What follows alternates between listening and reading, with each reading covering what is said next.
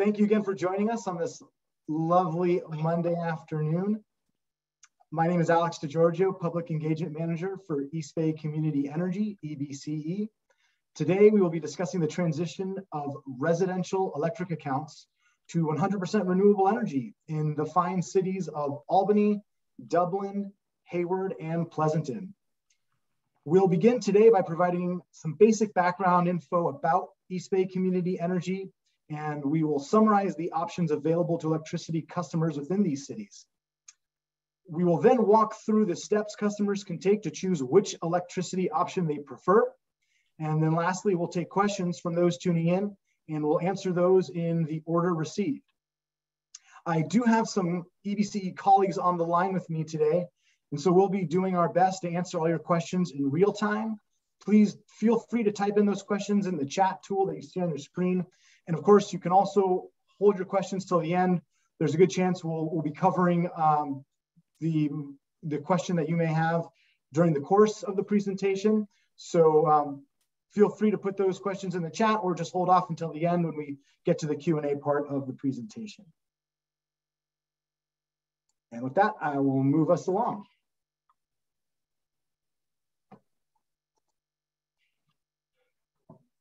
So some basics.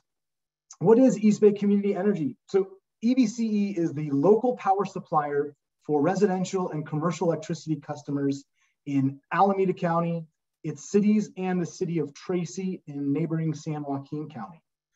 So our mission is to provide more renewable energy at lower rates and to reinvest revenues back into our communities to create local jobs, administer energy related customer programs, and generally to catalyze sustainable development.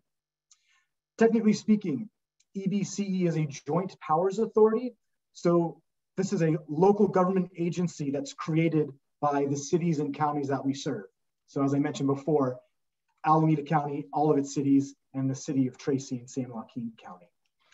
You can think of EBCE as similar to a school district, only instead of providing public education, we provide a public option for energy that's administered at the local level. And today we're going to talk about what those options are in more detail. First, it's important to note all EBC customers remain PG&E customers for everything except the source of the energy. EBCE procures more renewable energy from natural resources like wind and solar, and these resources are then delivered through PG&E's lines and wires to customers. These two services, power generation and power delivery, are actually billed separately on your PG&E bill, and we'll review a sample bill together um, a little later in a few minutes. Uh, but in short, PG&E continues to handle all billing services and to maintain the electrical grid, while EBCE provides customers with more energy choices at lower rates. And so we will discuss what those choices are. I do want to note that EBCE does not provide any gas services. We're just in the business of, of electricity and, and primarily renewable electricity.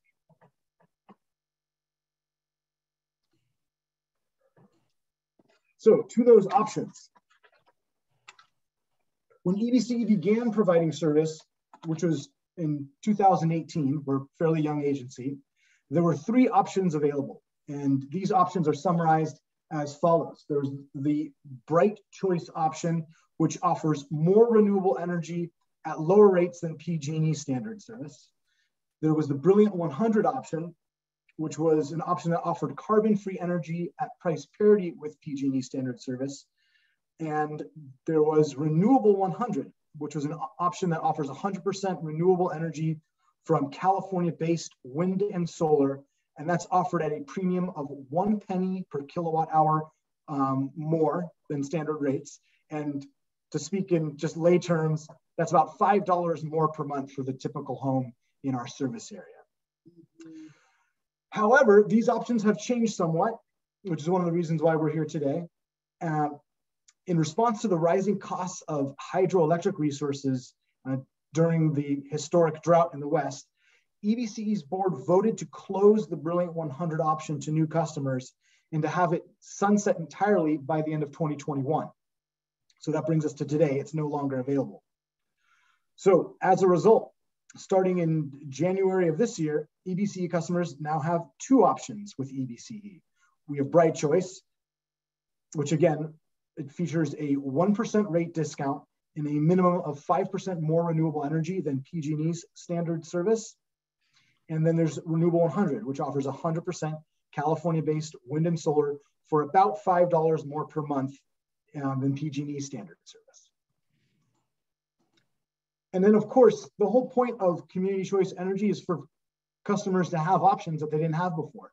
So not only do you have now a, a more cost competitive option, but you also have a 100% renewable option. And if you prefer to continue to um, purchase your energy from PG&E's energy supply portfolio, you're welcome to do so. And you can opt out of EBCE service and you'll, you will be served um, for both your energy delivery and your energy generation by PG and, and PG&E's resources. And we will go over on, on how to make that selection in just a few minutes. So what is a default service? Each, each city council gets to decide within EBC service area, uh, gets to decide what the default service is within their jurisdiction. I should mention by state law, which would be AB 117, EBCE is the default power supplier for customers within our service area. So in Alameda County, all its cities, the city of Tracy, EBC is the default provider of electric generation service unless folks choose to opt out. That's, that's by state law. Uh, so I know this is a, a bit of a busy slide here, but the takeaway from it is that different cities had different default options with EBCE. Um, and in some cases, it was Bright Choice, such as in Dublin, and in other cases, it was Brilliant 100. So in Albany, Hayward, and Pleasanton, the default service until, uh, until January of this year was Brilliant 100. Uh, that has changed now based on both the fact that Brilliant 100 has closed and the fact that some cities, like the city of Dublin and, and others that we'll mention as well, have decided to make Renewable 100 the, the default service. It's not a mandate, it's just the default. So that's where people will be purchasing their energy unless they, they make a different option. So starting in January, the Renewable 100 will be the default option for all residential customers in Albany, Hayward, Pleasanton, and Dublin, except for customers that are on a discount program such as CARE, FERA, or Medical Baseline.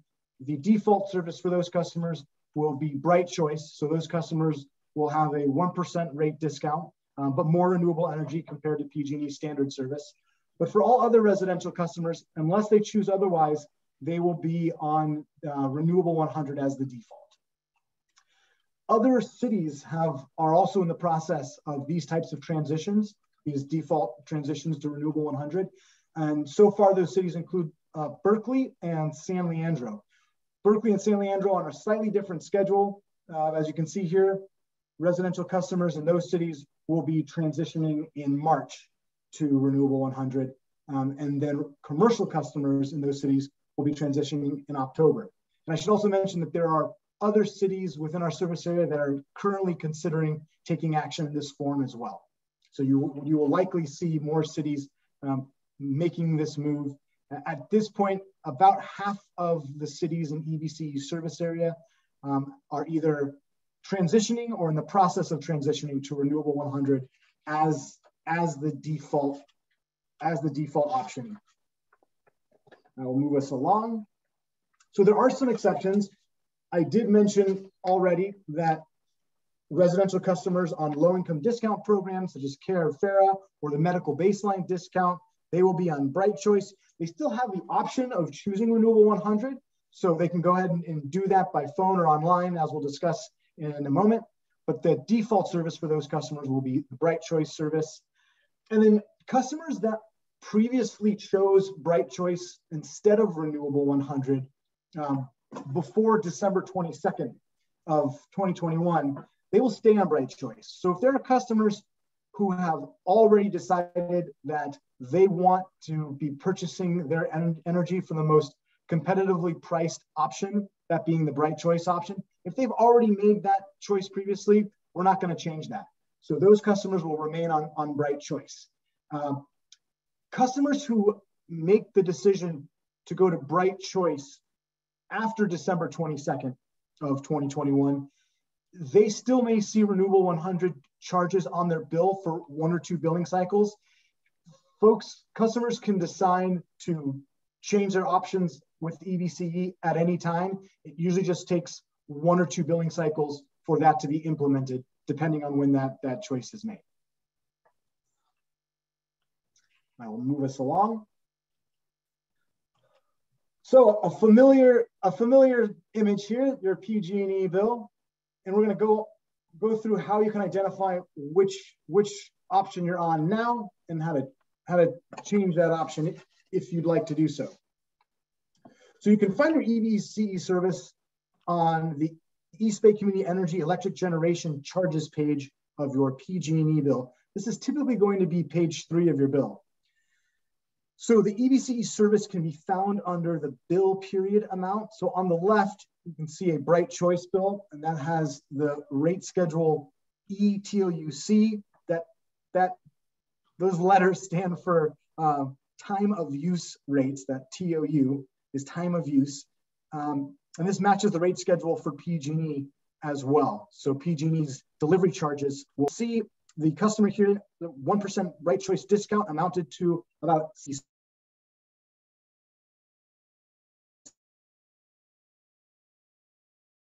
cents in that line item there. Now, I know this may not seem like much, but that 1% discount can actually add up a lot. Collectively, EBC customers have saved uh, about $29 million since EBC launched service in 2018. So collectively, our customers are saving about $10 million a year on that, what, what appears to be a pretty modest discount. So there's the bright choice there. Right there's that identifies what rate schedule you're on. That identifies the bright choice discount for those that are on that, that rate plan. And then now folks aren't going to be on Brilliant 100 any longer, but it used to say Brilliant 100 on there for those that were. So if you look at, a, at an older bill, you might see that on there.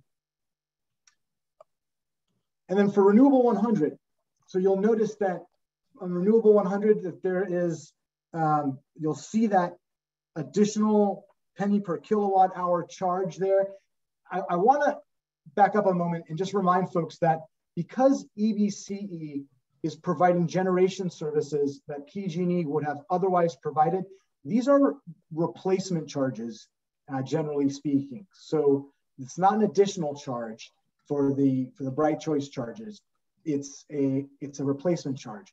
With renewable 100, however, there is that additional penny per kilowatt hour.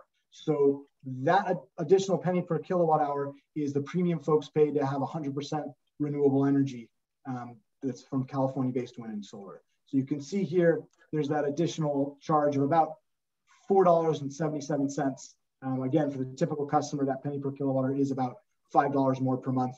It's volumetric, so the more energy you use, the, the higher the premium will be. And okay, so how to choose your service plan. So each each of the cities that are in the process of transitioning to Renewal 100 as the default service, they have their own uh, customized website for this. So whether you're in Albany, Dublin, Pleasanton, or Hayward, there's a landing page for you in your city. Um, and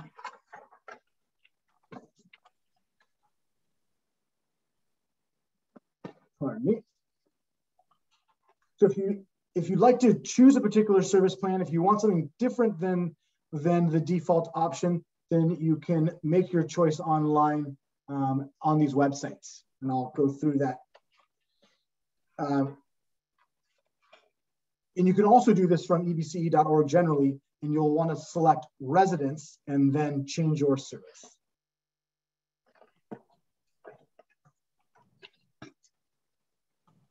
So once you're on the Change My Plan web page, you'll see a note about what you'll need to have available to make these changes online.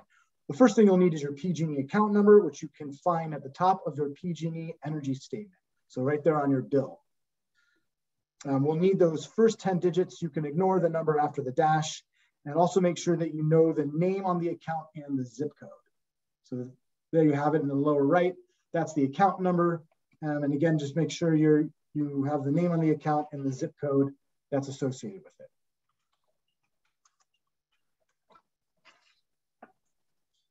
So the, the change my plan page allows you to select your choice. Um, it's going to take you to a web form. You can highlight, let's see, I'll highlight keep me here. Oh, excuse me. And the keep me here option, if you're on bright choice today and you want to stay there, you can indicate that using the remain on bright choice. And uh, you'll also notice for folks in Dublin, since the original default service there was bright choice, it will say remain on bright choice. That's where you'll, you'll want to click. Um, for folks in Pleasanton, Hayward, and Albany, since the default service was previously Brilliant 100, you'll be choosing bright choice. And if you can click on lower my bill, that'll give you bright choice, which is the, the lowest cost option. Um, if you've if you've opted out previously, uh, it's no additional cost to, to return to EBC if you'd like to do so um, or if you've previously chosen Bright Choice and you'd like to upgrade to Renewable 100 actively, uh, you may do so on this page as well. And of course, if you want to opt out, you can go to switch to PG&E and, and choose to opt out. Should mention there that while you can choose from among EBC's options at any time, it usually takes a billing cycle or two to process the request. If you opt out of EBC entirely and return to PG&E, PG&E may require that you remain with their service for a year before you can come back to, to EBC service. So again, just to reiterate some important dates. So the last opportunity to choose Bright Choice and have and avoid the transition entirely was December 22nd. So if you haven't made that choice yet, um, then you will likely be seeing um, the initial renewable 100 charges coming up uh, next month in February uh, unless of course you're a care fair medical baseline customer or someone that previously opted out. So in January is when the transition actually occurs and it occurs according to each individual electric account's meter read date. So this doesn't all happen at once. Each account is going to transition according to, to when the meter would be typically read that month. And so you won't notice any differences um, until February, then unless you choose a different option, Feb your February bill will be the bill where you start to see those renewable 100 charges for the first time. So common questions that we get about switching service. Can you switch to Bright Choice and then later try a renewable 100? The answer is yes.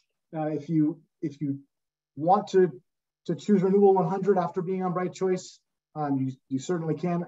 Just like whether it's opting down or opting up, whatever you choose, in these cases on EBC side, it'll take one to two billing cycles for us to implement the change, but you can make that change at any time. There's no deadline for doing so.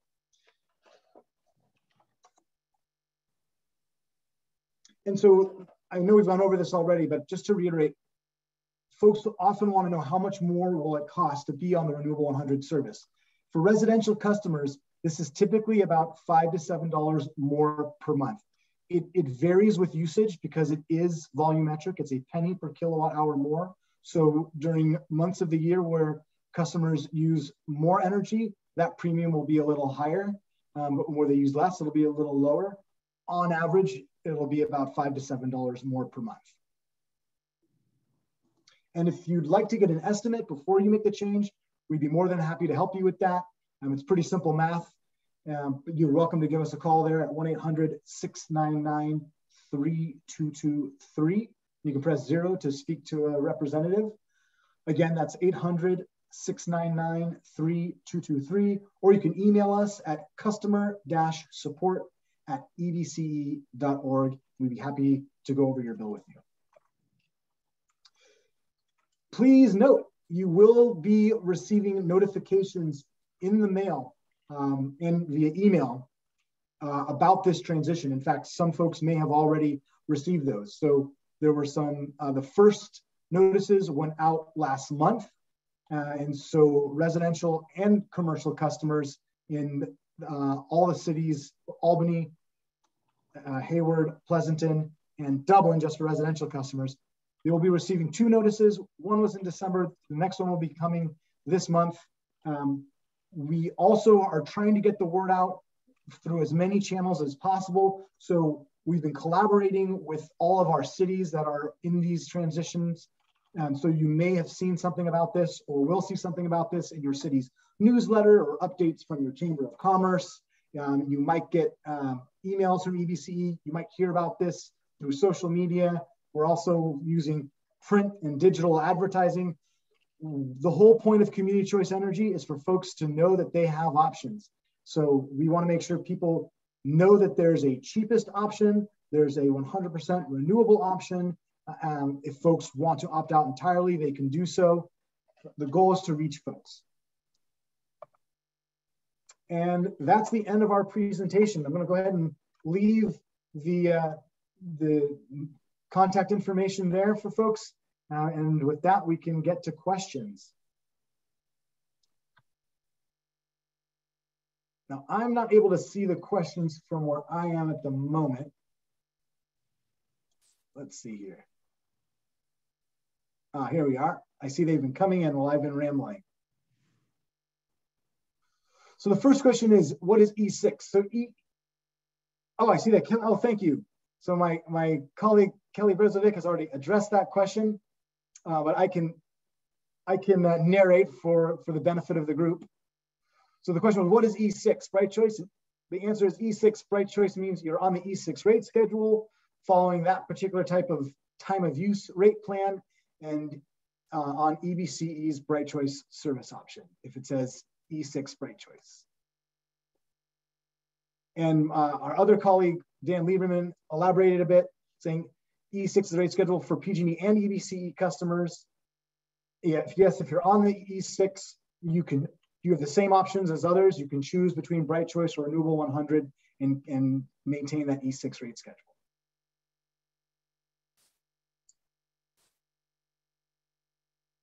I'm going to move on. So why the question here is why would I want to transfer to EBCE? Well, there are a lot of reasons, and I'm realizing I might be catching up to some of the answers here. But uh, the reasons for wanting to purchase your energy generation from EBCE is that one, you'll be supporting more renewable energy resources uh, in the state of California. And two, your ratepayer dollars will stay local. So the, the money that you pay on your electricity bill will be, for the generation portion of your bill, will be managed um, and invested by a, a local energy, a, a local agency. And the idea here is to make the energy economy more democratic. I didn't mention this during the presentation, but EBCE's board of directors is composed of locally elected leaders from each jurisdiction that we serve. So a city council member or a mayor or a county supervisor from each jurisdiction sits on our board and our meetings are open to the public. And those are the folks who approve our rates, programs, and policies. So it's a uh, far more democratic and transparent process than has been the case for most electricity customers here in California. I'll move on to the next question. What is the buy rate with Bright Choice versus PG&E during peak season? So as my colleague Dan answered, EBC rates mirror PG&E's rates. So our seasonal rates are the same as PG&E's, except for that 1% discount on Bright Choice or that one penny per kilowatt hour premium on Renewable 100. So for, for the sake of simplicity, EBCE's rates mirror PG&E's rates, um, both in terms of rate schedules and in terms of seasonal adjustments. The difference is in one, the rates, and two, the sources of the energy. In EBCE's case, the sources of the energy will be more renewable. A minimum of 5% more renewable for Bright Choice, and it's 100% renewable for Renewable 100. Okay, the next question is, so my choice for living in Hayward is the default renewable or bright choice, which will be more expensive? Yes, so if you're in Hayward, the, the default option is now renewable 100 for both residential and commercial customers, unless you're in, in a discount program such as care, fair, or medical baseline. So the, if you haven't made any choice or you're not in one of those uh, categories, then Renewable 100 will be your default service. Um, Renewable 100 is, is not cheaper than PG&E. It's a penny per kilowatt hour more, um, but Bright Choice is cheaper than PG&E. It costs less than PG&E, that is. It's at a 1% rate discount, and you can choose that option at any time. Uh, and yes, we can make a copy of the PowerPoint uh, publicly available. We can uh, we can post that to our, a link to our website um, make sure that, and we'll also have a recording of this um, on our website as well. I can see that my colleagues have answered this question as well. Uh, here's a great question. How exactly does EBCE reinvest in the community? Thanks for this question. In, in a myriad of ways. The most obvious way is in that rate discount for Bright Choice. So uh, EBCE, part of what where EBCE invests its net revenues is on keeping our Bright Choice option uh, the cheapest option available. So right there, there's an investment, and it's almost like a tax break, but in this case, it's a it's a, a rate break uh, but then beyond that, in, in really exciting and innovative ways, EBC is investing in local programs. So I would encourage everyone here to go take a peek at our website. Um, we have local programs that involve developing uh, e electric vehicle charging infrastructure throughout EBCE's service area. We're partnering with several of our cities to expand access to uh, what's called direct current fast charging or DC fast charging, which turn uh, hours into minutes when it comes to charging electric vehicles. Um, we know that not everyone drives an electric vehicle, but it's to the general public's benefit if more and more uh, folks are driving electric vehicles because it helps not only reduce GHG emissions, but also to reduce local air pollution. So for anyone who's living near a roadway or a freeway or, or, a, or a refinery, it definitely helps to have uh, a, cleaner alternative for transportation. In, different, in addition to transportation electrification programs, we have uh, building electrification programs for energy efficiency to help uh, our customers install electric electric appliances instead of gas using burning appliances. Uh, we have programs um, that are also designed to help our customers install batteries uh, at their homes in addition to solar. So we have what's called the Resilient Home Program, where customers can um, can get rebates uh, and discounts for installing solar plus battery storage at their home, which um, needless to say is, is quite handy when there are power outages, whether they're planned outages or unplanned outages, um, being able to store the solar energy and dispatch it when the sun goes down is, uh, is a really innovative program that EBCE has been pioneering here in our service area. So that's just a, a sample of some of the ways in which EBCE reinvests our, our customers' uh, energy bills in local programs. Um, I will move on. The next question is from a solar customer. I have solar, I have solar panels installed. Any difference if I don't do anything? I live in Dublin with Renewable 100. Thanks for the question. I'm, we have a lot of customers with solar in our in our service area. Um, and no, this isn't going to change. This isn't going to change anything for solar customers, other than for any any energy that you use beyond um, beyond what you generate yourself. You'd be purchasing it at the renewable 100 rate. So if you're a, a net energy consumer, that, that is that you um, you still purchase some energy rather than generating all yourself, what you purchase will be on the renewable 100 rate unless you choose the bright choice rate. If you choose the bright choice rate, then whatever you purchase beyond what you produce will be at, at that rate. So for whatever you're purchasing, um, it will be either at a discount or a, or a slight premium, depending on which option you go with as a solar customer. beyond that, it, it doesn't it doesn't change.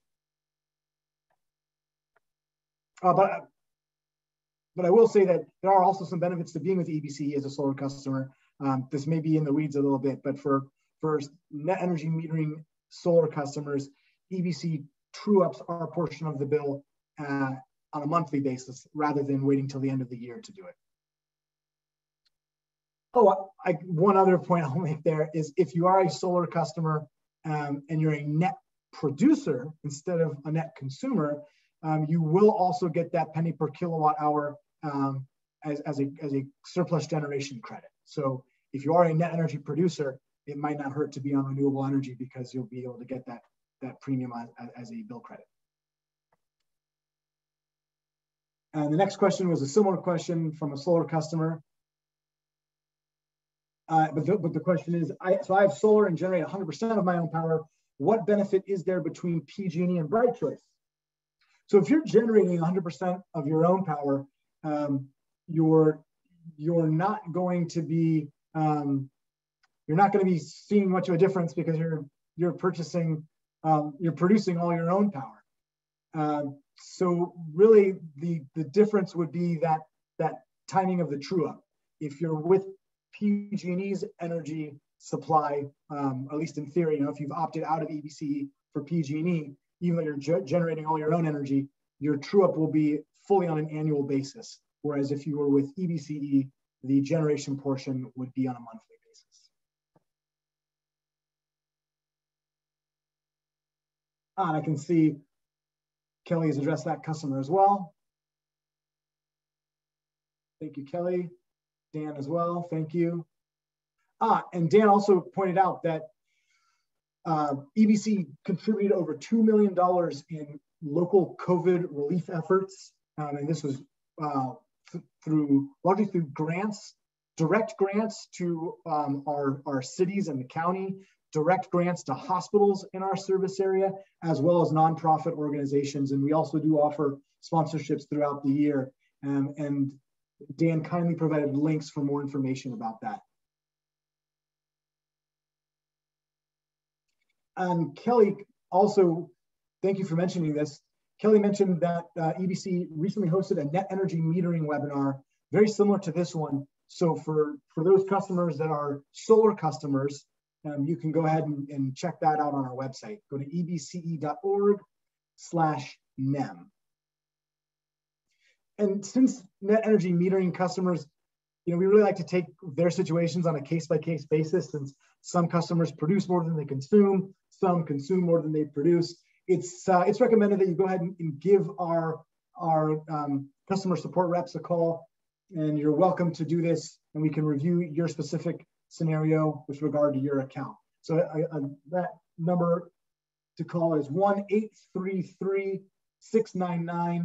1-833-699-3223. I think earlier in the presentation, I may have said 1-800, so I apologize for that. The correct number is 1-833-699-3223. And our representatives are available from 9 to 5, Monday through Friday to address your questions. So the next question, it looks like it's a time of use question. The PG&E plan I was on charged more during the hours of 4 to 9. Does this still apply with this change? Yes, so that that that 4 to 9 time of use, so that that's during the 4 to 9 is now what we call the, the peak pricing period. So for customers that are on a time of use rate schedule, and there was a, a, a previous transition to time of use rates um, for both PG&E and EBCE customers. Uh, so unless folks opted out of that, for most of our customers, there's going to be peak pricing from four to nine. This transition to renewable 100 as the default doesn't change any of that. So um, for folks who are on a time of use rate schedule, four to nine will still be the, the peak periods. If you're on renewable 100, that penny per kilowatt hour will still apply. So the, the peak period will be a penny per kilowatt hour additional.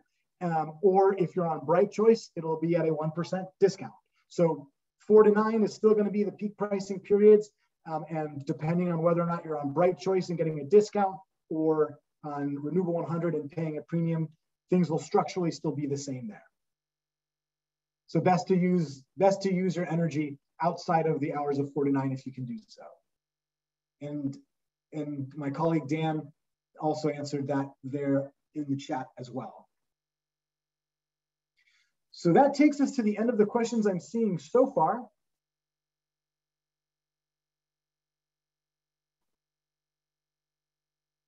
So with that, unless there are other questions, I think we may sign off here. Uh, again, if you haven't done so yet, please do uh, take a minute to answer our one question poll on where in the service area you're from, just so you can have a sense of who's tuning in from, from our member cities.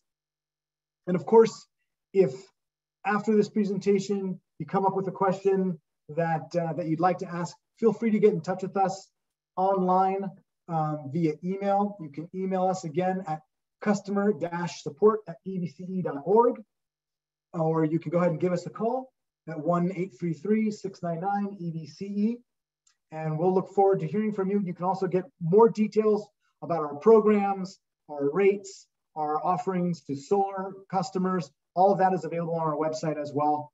Please feel free to peruse it at your leisure. And in the meantime, please go ahead and enjoy the, what's left of the free solar energy that's shining down upon all of us right now.